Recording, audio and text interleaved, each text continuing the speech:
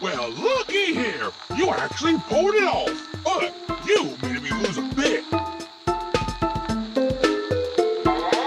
And for that, you ain't seen the boss just yet. We're gonna play a little game first.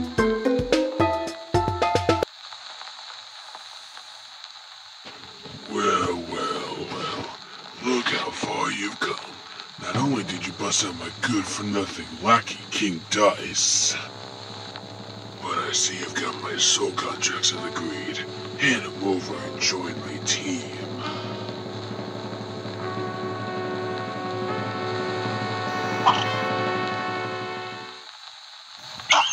You're mine now, and we're gonna have a hell of a time down here.